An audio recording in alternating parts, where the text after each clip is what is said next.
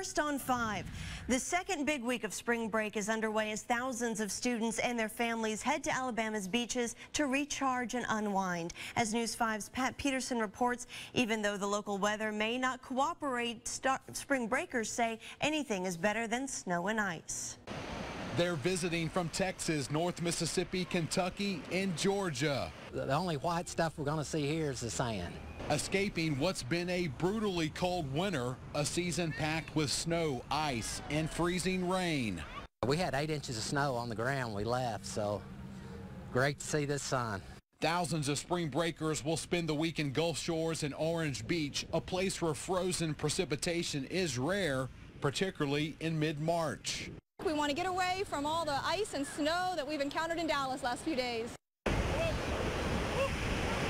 Mike Brown and his family are visiting from Dallas. You may see a movie or two, bowling, um, may go uh, all kinds of places. So yeah.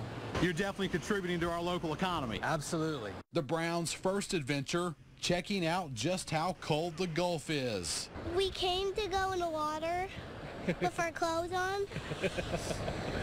Rain is in the forecast, but spring breakers we talked to say a few days of the wet stuff is much better than snow and ice.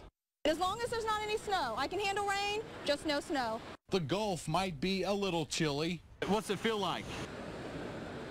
Cold. Cold but fun? Yes. All right. Are you going to go do it again? Yes. but not nearly as cold as what these vacationers have dealt with back home. Maybe not.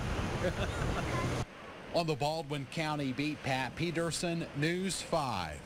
Spring break officially rolls through late April. The busiest week will likely be the week of April 6th. That's when schools here in Mobile County and Baldwin County are out.